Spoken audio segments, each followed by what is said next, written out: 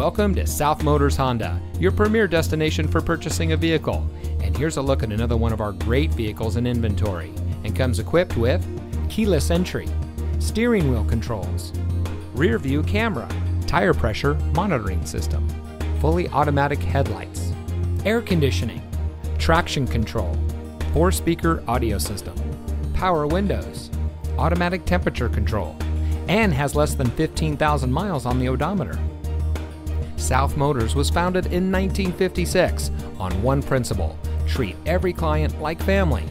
More than 60 years later, we are proud to say that we are still locally owned by the same family and we still follow that same family tradition. Our fully transparent shopping experience delivers the best up front, along with a complete vehicle history.